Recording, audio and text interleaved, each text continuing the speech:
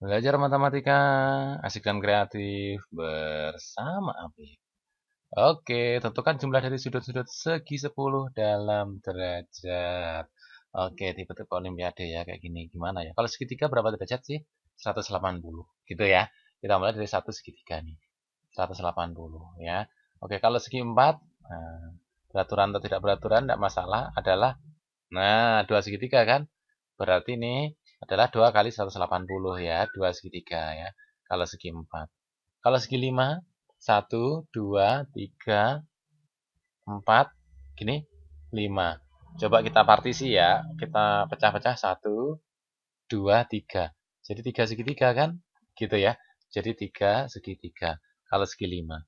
Kalau segi 4, eh segi 6, ya 4 segi 3. Kalau segi 6.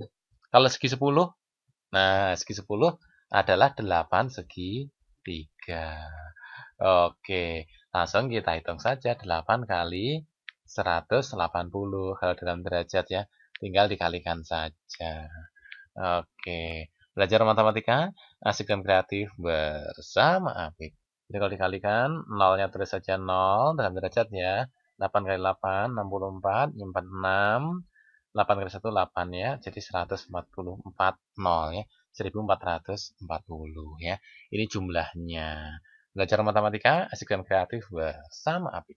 Kalau segi N ya, kalau segi N berarti berapa? Nah, kita bisa narik kesimpulan dong. Kalau segitiga tadi kan 1 kali 180 ya, 1 segitiga. Kalau segi 4 jadi 2 segitiga. Segi 5 jadi 3. Berarti berkurang 2 ya. Kalau segi 6 jadi 4. Jadi segi 10 jadi 8. Jadi kalau segi N adalah N dikurangi 2. Gitu ya. Kali sudut segi 3.